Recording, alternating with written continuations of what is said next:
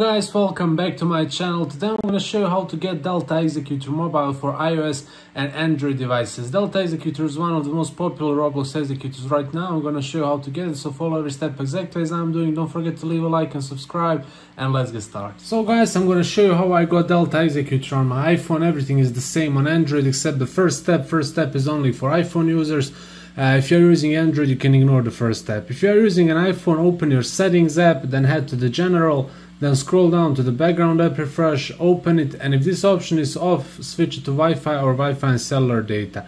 If background app refresh option is off, we cannot install Delta Executor Mobile successfully on iOS iPhone devices. It might crash, have bugs, problems, maybe it will not work at all, so be sure to switch this option to on. The second step is the same for both iOS and Android users. Open your battery settings on your phone go to power mode and be sure that low power mode is switched to off. On Android this mode might be called battery saving mode or power saving mode. You can find it in the settings of every Android phone under battery settings and switch it to off.